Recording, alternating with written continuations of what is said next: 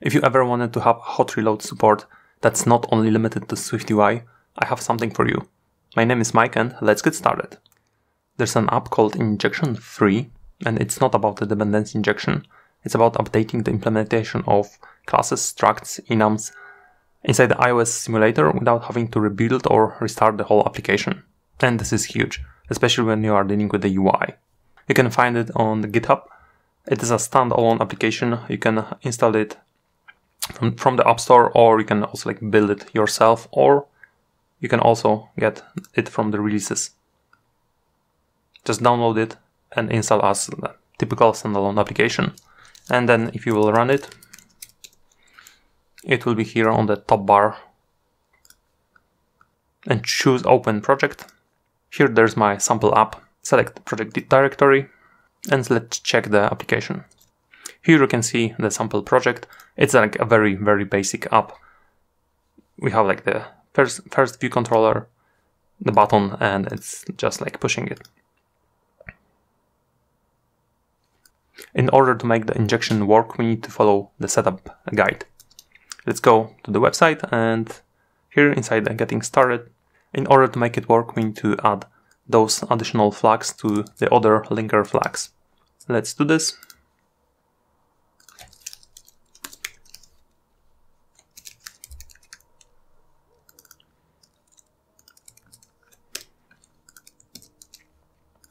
And then for the application that finish launching, we need to load this bundle. As you can see, there's like uh, a path to the application. So make sure that your application is actually inside the applications directory. Let's copy this, go to the app delegate, application did finish launching, and let's just pass this. And actually you can get rid of the macOS or tvOS because we are not going to use it. And yeah, that's basically it. After you will save it, let's restart the application and run it. And you can see that it is being connected also. You can see here the injection 3 is being connected. Now let's check what's inside this additional view controller. It's called details view controller. It has this function setup where we are setting up additional views. Let's change it and let's make it red.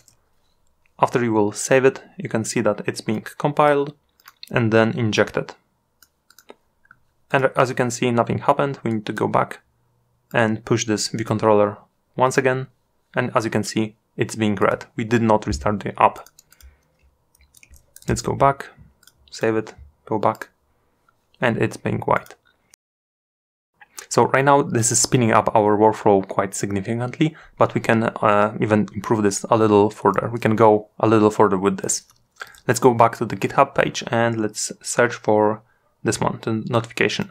So after each injection, uh, the application can post this injection bundle notification, and we can use this for automatic refresh. Let's copy this. We can change this and call it, for example, setup, as we have here, our function. We need to add Objective-C annotation.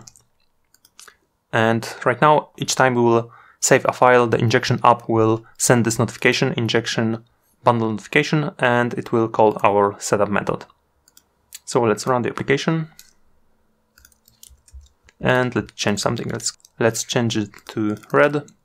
And right now I'm pressing the Command S and saving this automatically. And as you can see, it is just updating it right away. Let's add a title, Command S, and it's being here right away.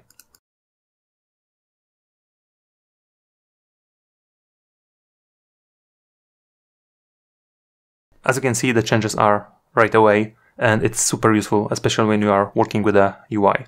It's not all perfect, there are some limitations. Let's get back to the GitHub. You can't change or alter the layout of class or struct. And if you will do this, it will likely crash and your app will become unstable. So yeah, don't do this. There is also a SwiftUI injection. I did not try it yet, but if you, for example, have like a very huge SwiftUI project or it's not working for you, like the live preview is like really sluggish and unusable, you can use this and it will definitely improve. As you can see, the feedback loop here is extremely fast. Not having to rebuild the whole application is a huge time saver. And the setup is really simple and you only need to do this once. So I hope that you will give it a try. Thank you for watching and see you in the next one.